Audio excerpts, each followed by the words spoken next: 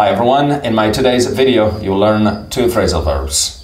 The first phrasal verb is yearn for something. Yearn for something means to long for something or to want something very much. Wata am am phrasal verban wata zor be parosh bi boshtek. We see ki zor zor te be boshtek. For example, um, Ahmed is yearning for Eid.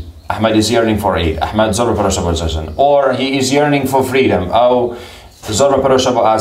The second phrasal verb is dwell on or dwell upon something, which means to talk about something for too long or to, to think about uh, something for too long. Um, For example, she dwelled upon the economic situation in her speech. You give me examples in the comments. I'll catch you in the next video.